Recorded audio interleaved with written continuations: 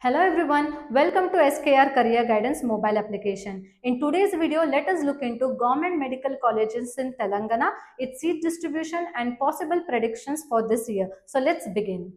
Now, let us look into list of medical colleges in Telangana. Coming to the first one, ESIC Medical College. Here the intake is 125.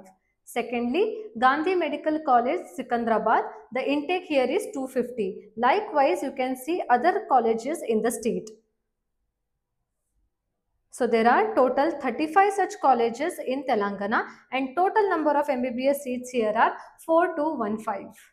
So there are total 35 government colleges in Telangana and total number of seats are 4215. In this, coming to All India quota, wherein the reservation is 15%, the number of seats are 632. And the remaining, that is 85% belongs to state government quota, wherein the number of seats are 3583. Now let us look into seat distribution for OC and BCA category. Coming to OC category, here the reservation is 40% and as per this, the number of seats are 1433. Next, BCA category, the reservation here is 7% and number of seats here are 251. I am Aravind, Medico from Coimbatore Medical College. I am Govind Raj, Medico at Arunai Medical College. I am Kritik Raj, Medico from Dharmapuri Medical College. I am Gokul Krishnan, Medico at Dharmapuri Medical College. I am Swati, Medico at Ramanathapuram Medical College. I am Rajarajan, Medico at Ramanathapuram Medical College. I am Srinath, Medico at Government Tiruvannamalai Medical College. I am Durgesh, Medico from Arunai Medical College. I am Prakash, Medico at Government Cuddalore Medical College. I am Darshana Bala, I am from Virudhunagar Medical College. I am Divyashree from Dharmapuri Medical College. I am Harshini, Medico at Coimbatore Medical College. Thank you. Thank you sir. Next, let us look into possible predictions for state government quota. Coming to the OC category, in the year 2023, the cutoff was 489. In the year 2024, it was 565.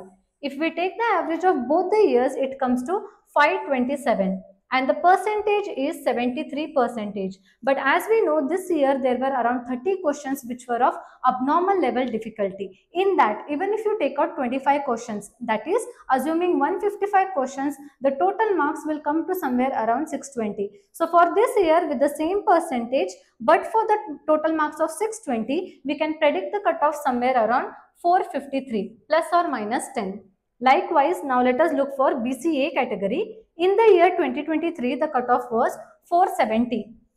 In 2024, it was 558. The average was 514. Percentage is 71 percentage. So with the same percentage, we can predict the cutoff this year somewhere around 440 plus or minus 10. So this was just our predictions. As we all know, this year the exam was difficult. So it is our small effort to reduce your stress level. Through our mobile application, you can get to know the exact number of seats available for your specific category. Not just that, we will personally guide you right from the counseling till you get the seat in your desired college.